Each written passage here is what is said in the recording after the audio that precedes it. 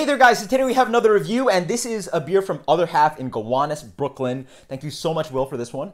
And this is Other Half's Southern Passion and J17 double IPA 8.5%. If you don't know what that means, uh, I was with you, and so I looked it up. So basically, Southern Passion and J17 are two Southern Hemisphere hops, but they're not from New Zealand or Australia, where most of, most of the southern hemisphere hops are from. This is from South Africa, uh, South African hops. So uh, really nice and exotic, really rare. I've never had South African hops before, so we're digging in, into a double IPA. Uh, so the beer pours out nice and cloudy, really nice looking beer.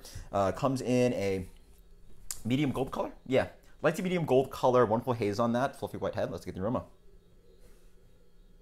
Oh wow, yeah. So they have tasting notes on the website, and um, it is very gooseberry forward, uh, combined with a little bit of passion fruit, a little bit of like um, pineapple, some maybe stone fruit apricot. And then there's a, it's, it's, a very unique aroma. There's like some spice in there. There's a little bit of this kind of herbaceous quality. It's very interesting. It's, it's, it's very different. Yeah, awesome. Cheers.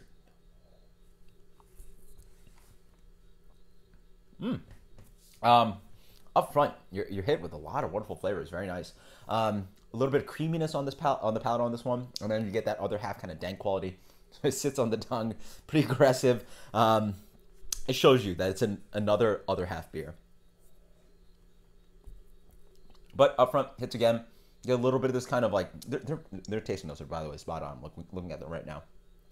Huge amount of this like floral lavender kind of thing. You do definitely do get hit with the passion fruit. There's a zesty like uh, yellow grapefruit kind of note.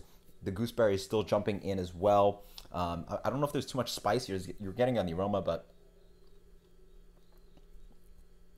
again, the big juiciness hits up front.